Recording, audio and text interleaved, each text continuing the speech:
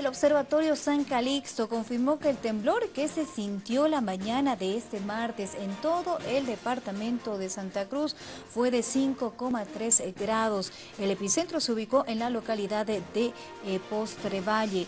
Eh, en esto, implica la provincia Valle Grande a una profundidad de 15.1 eh, kilómetros y se produjo a las 9 de la mañana con 12 minutos. diversos edificios de la capital cruceña como las Torres Caínco y en la zona empresarial procedieron a la evacuación de personal como parte del operativo de contingencias. También se pidió a los estudiantes de algunas universidades salir de sus aulas y ponerse a buen recaudo. Por el momento no se ha reportado daños materiales ni personales en la ciudad de Santa Cruz ni en los valles cruceños donde se registró el epicentro. El sismo también fue sentido en el Chapare Cochabambino y parte de Chuquisaca hasta las 10 de la mañana con 5 minutos aproximadamente. El San Calixto no registró ninguna réplica, aunque advirtió que probablemente esta se produzca debido a que la intensidad del movimiento telúrico fue bastante alta.